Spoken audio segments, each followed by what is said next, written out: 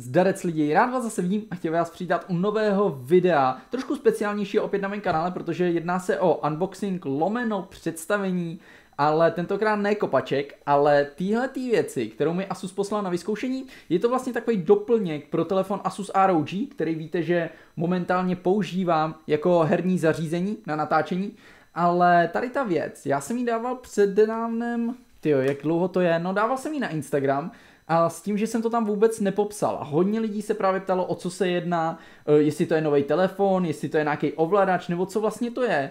A já bych se na tom dnešním díle podíval, protože tady tu věc jsem rozhodně nikdy ještě neviděl a je to dost zajímavý, takže to nebudu prodlužovat a pojďme na to. Originální název pro tady tu věc je Twin View Dock ROG Phone, ale my lajci tomu říkáme prostě a jednoduše druhá obrazovka. Je to vlastně úplně šikovně udělaný, protože vy to tady nadzvednete a do toho opět zasunete uh, svůj telefon Asus ROG a zaklapnete ho.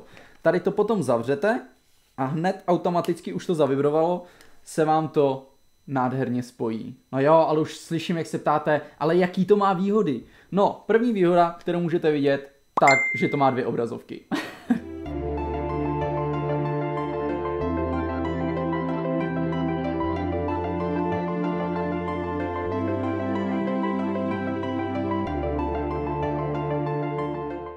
Mezi další výhody tady toho zařízení rozhodně patří baterie, protože samotný ten dock v sobě tu baterku obsahuje, takže když zasunete telefon, tak se vám nahoře, nahoře zobrazí procenta. Vy si tu baterku můžete dobíjet Eh, nebo váš telefon si můžete dobíjet pomocí toho doku a ten dok samotný dobíjíte tady ze zádu, pokud to jde dobře vidět, pomocí kabelu a hned vedle máte vlastně slot na SD kartu, takže pokud máte třeba nějaký písničky nebo nějaký soubory, který chcete přesunout do telefonu nebo je samotným tom telefonu otevřít, tak teď momentálně můžete.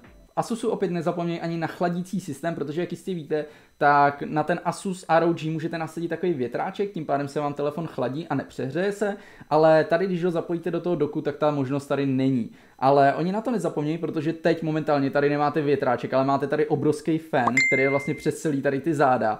A jakmile tam telefon zapojíte a zapnete ten dok, tak se to začne i hned chladit tím pádem, tím pádem ale ztratíte logo, vlastně, který je tady světelkující a je zezanu na tom telefonu, ale na to taky mysleli, protože jak vidíte, tak se vám rozsvítí tady to. Samozřejmě i hned, jak dock zavřete i s telefonem, tak se logo a větráček se vypnou. No a už vás slyším dole v komentářích, kde se ptáte Meji, doprčic, k čemu tady to zařízení je, jak ho používáš. A upřímně, já pokud bych měl říct z toho mýho herního hlediska, protože to používám především na hraní, tak využívám to jako ovladač. Je to mnohem pohodlnější vlastně. Já jak to teď chytím, tak tady ze zádu opět vidíte mnohem větší tlačítka, který můžete si přizpůsobit kamkoliv chcete, můžete si je dát kamkoliv chcete, aby dělali cokoliv chcete a vlastně získáte dva displeje. A nevím jak vy, ale dva displeje je víc než jeden a dva repráky jsou víc, míň, míň, jsou míň než čtyři. Protože ta dolní obrazovka má dva repráky, telefon má taky dva, takže já jak to využívám je úplně jednoduchý. Ne, ne, nestartuj, já už to budu mít. Yes! Se mi ten parkour! Nevím jak vy, ale já vždycky, když hraju nějakou hru, tak mám raději, když mi k tomu hraje třeba televize, protože vždycky třeba, když mě zabijou, nebo čekám, až se připojím do hry, tak rád si tu chvilku prostě zkrátím tím, že se na něco kouknu a opět, tak jsem potom ve hře, tak zase hraju, ale Jde to určitě využít na milion věcí. Věc, ke který bych chtěl tady to příslušenství někdy v budoucnu používat, tak je streamování. Momentálně na to nemám dobrý internet, ale v budoucnosti bych chtěl někdy začít streamovat po večerech a tady to se k tomu úplně hodí, protože vy si na tom dolním displeji pustíte hru, nahoře si otevřete chat a vlastně kameru to má taky, protože pomocí toho horního telefonu si tam můžete nastavit i kamerku. Takže vy vlastně tam budete mít všechno, všechno uvidíte na tom horním displeji, můžete to ovládat, můžete odpovídat třeba v komentářích, můžete někoho blokovat nebo takhle.